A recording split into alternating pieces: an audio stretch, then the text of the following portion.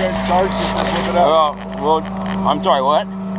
It really doesn't matter this stage of the game. We're here, okay? Well. I need to. Well, we're do it here regardless, and we gotta get it out of here. I'm not gonna discuss the charges with you right now. We gotta get it out of here. I'm not here for you. I'm here for the state patrol. They hired they hired me to come out here. So you're gonna take take the truck? Okay. Uh, Huh? this way.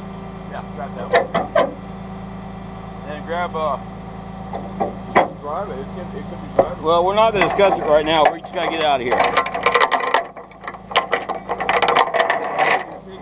not gonna discuss it right now. We're gonna get. So I'm trying to find out. So.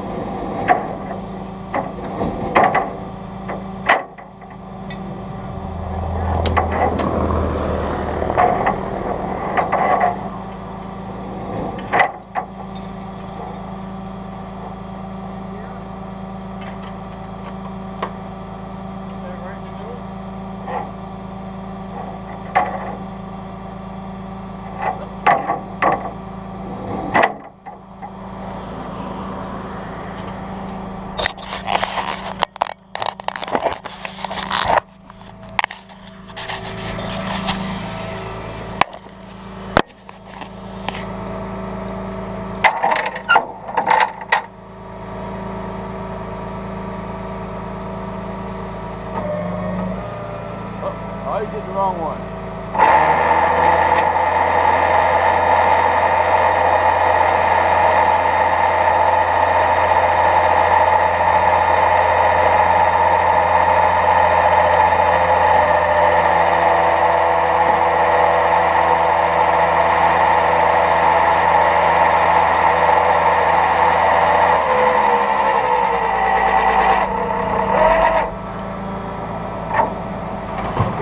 Okay, pull